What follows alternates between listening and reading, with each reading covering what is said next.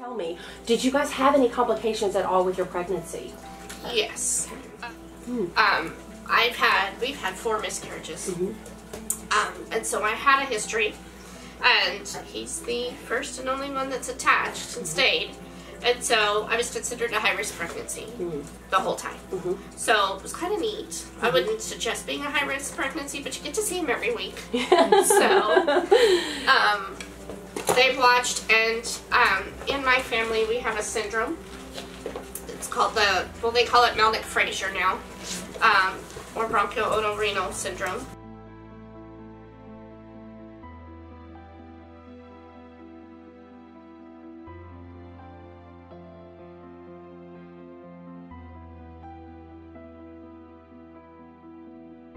And it affects your ears, your kidneys, um, and your throat. Which, so I was concerned about kidneys. Mm-hmm. Can you watch his kidneys? Mm-hmm. And so they watched his kidneys because they were a little dilated the whole pregnancy. Um, and other than that, after that initial, after that initial, it was fine. Mm-hmm. Yeah. Did you did they give you a percentage or did you know that there was a real possibility that you were going to pass this syndrome on to your son or did you know in Uh, advance? I knew before that he had a 50-50 chance. Okay, okay. Um, And they always said that they were reluctantly optimistic.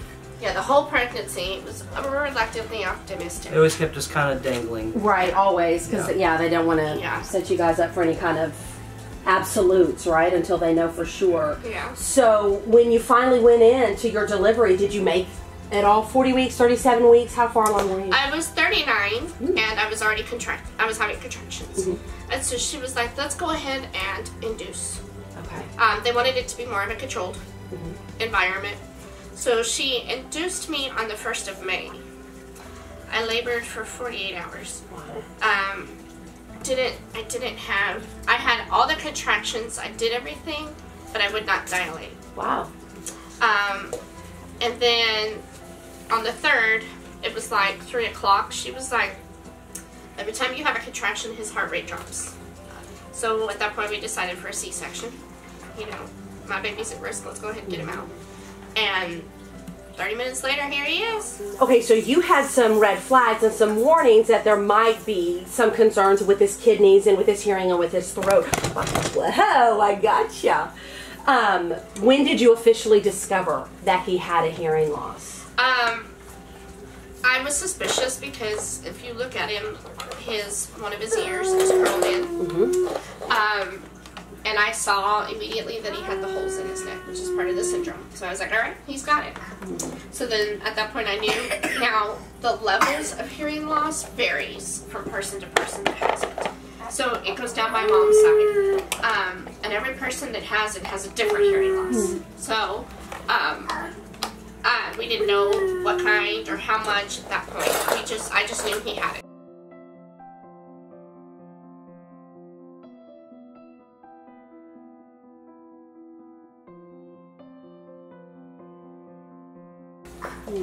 Um, and he failed the tests there at the hospital. They gave him the first one and said that, oh, we can wait a little while because a lot of C-section babies fail because they don't get the fluid squeezed out.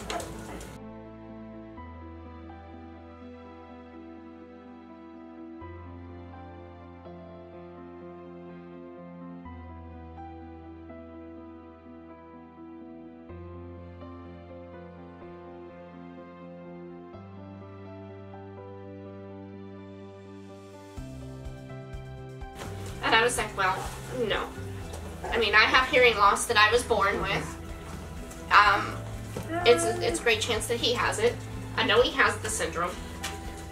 And I had to prove that I knew and understood where it came from before they were like, okay, well, let's go ahead and do the second one. And we went from there. We found out pretty quick that it was profound. And it was hard to hear. You don't want that for your child, especially me. I knew what he was going to have to fight.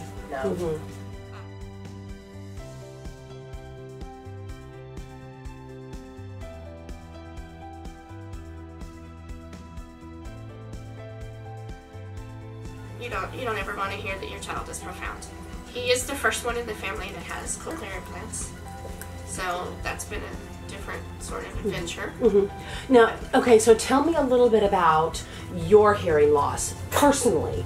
I only have about 30% in both ears. Mm-hmm. A little, one ear is a little under 30%. percent Um, was born that way, but did not get my hearing aids until I was almost seven. I lived in a small town and I was smart enough to figure out when the guy pushed this button, it was the other side. Um, my mom finally convinced an audiologist to put me in a booth by myself, and that's when they discovered that I actually really couldn't hear anything. You know, my speech was awful at that time. Um, I struggled in school because I couldn't hear. Um, but I could read and all of that because my mom is also a teacher.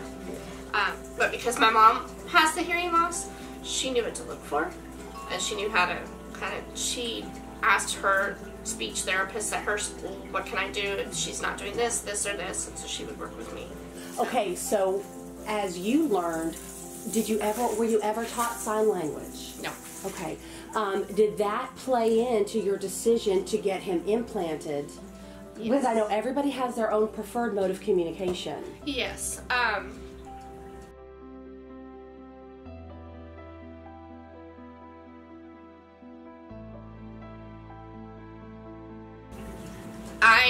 actually one year got frustrated at school um, because I was tired of repeating myself. People couldn't understand me, and I also, when I don't have my hearing aids, and even now, when I don't have a man or my ears aren't working, I speak very softly. And so um, I got tired of being uh, having to repeat myself, so I quit talking for a year. I refused to talk to anybody. My parents, friends, school. I wouldn't say a word. And so I didn't want him to to experience that. Um, and they were pretty quick to tell us with the hearing aids, he got no speech. Like he was way under the little speech banana. And so at that point, it was like, okay, well, how can we get it so he either can get speech or do we need to start doing sign language? Initially, they weren't very optimistic that the cochlear implant would work because when we did the MRI, he had one nerve that was minimal, and then the other nerve, he was like, we're not really sure it's there.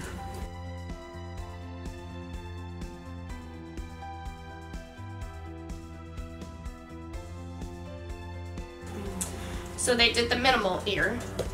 Um, in the sound booth, he is now considered mild with his implant. So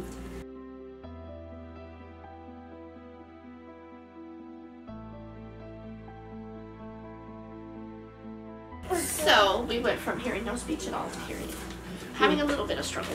What was your first reaction the first time you called his name and he looked at both of you or he turned to you?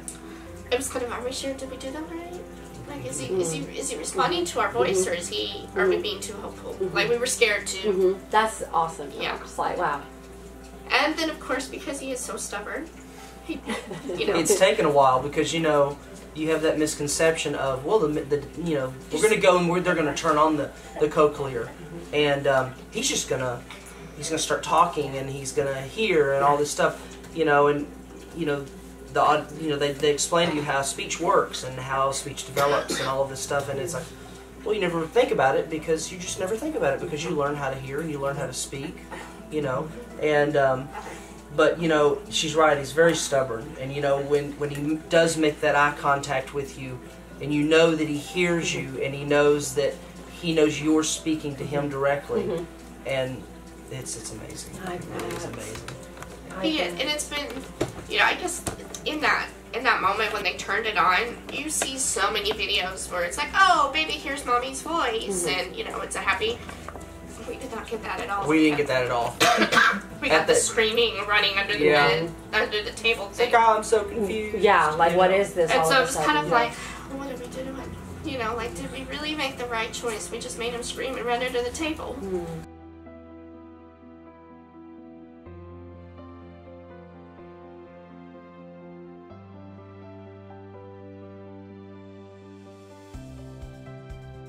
You know, um, and so that that in itself was kind of traumatic. You know, and of course there's a bunch of people in the room and they're videotaping, and and it was just you have to tr- still maintain that optimism, but in your heart you're like, did I really just make the right choice for my son. Mm. You know, Mm. um, because he definitely didn't follow those feel good videos at all. So, Yeah. But um, now, do you think? yes. Oh yeah. Oh, now, today, with Gwen teaching sign language, why are you wanting to do both? Just Um, our well, our main desire is for him to use speech, Mhm. but in case Mhm. he needs that that platform, you know that. Um, yes, we want him to speak, and we want him to be part of the, the hearing world in that aspect. But in case that's he needs more, Mhm. we want to be prepared. Okay, so we talked about your um, ECI services. How did you learn about ECI? Actually, um, so we were home. We had come home, and this lady starts calling from. Um, what did I have Oops. him? No, no, no. Uh, Baylor? Baylor. Mm-hmm. Um, she's like, yeah, you know, he failed this test. You have to follow up with this person and this person.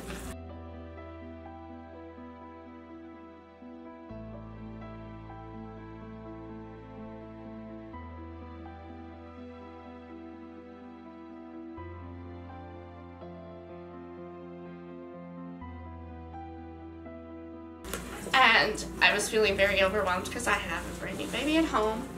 And I've got all these people calling me. You know, I had to make an ENT appointment for his throat. I had to make appointments with the audiologist. I had to, and I had nowhere to go.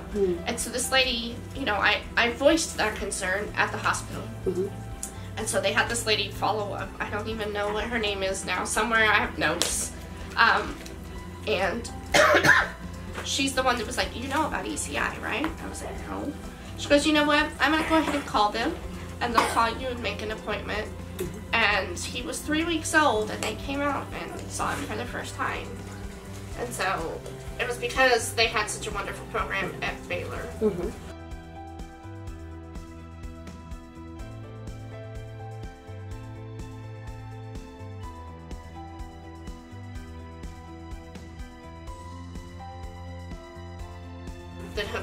hooked us up with ECI. Nice. And so, since he was three weeks old, how long has he been getting audiology services with? With Gwen, Mhm. what was it, six months? Um, no, that was Mackenzie. I came in even a little later, didn't I? Uh, We I started it was at three nine. weeks with Mackenzie. Yeah, I think I came at nine months. Nine months. I think we waited until nine months. But how would you sum up or summarize your ECI experiences so far? Well, ECI has been great as far as like we've had some other issues like eating and of course walking Mhm. that ECI has helped us with. Um, we've since learned that walking might have been delayed because his ears are deformed. Mhm. He does have a lot of liquid, Mhm. and so balance Yeah. issues, that kind Mhm. of thing. Um, because he does other things right on target. Um, and then in conjunction with Gwen, you know, we get a lot of ideas on how to build, you know, speech and how to push him to respond to us. You know, hey, I'm talking to you. Turn, turn to sound. You know, stuff that I didn't know. I mean, I was six when this when this adventure started for me, and so doing it with a baby is a, is a way different. Yeah. And so, you know, we get toys that we learn that, hey, you know, this would be an easy way to do, you know, the ling sound because there's six sounds that you want to practice with. And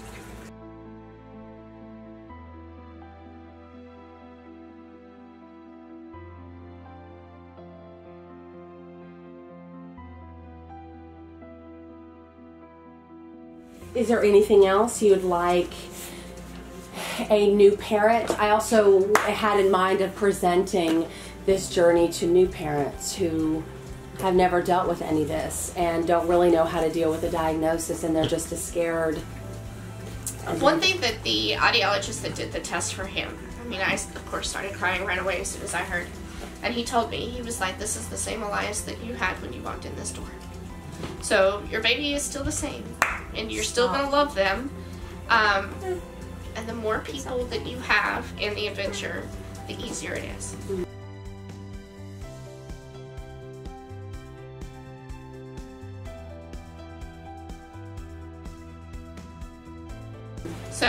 Know, we've got mom and dad, we've got grandma, Aunt Grammy, his other grandmother, you know, everybody's very involved. He has um, Papa, his uncle. I mean, we've got a lot of family that is very invested and very much love him, and so that doesn't change at Yeah. all.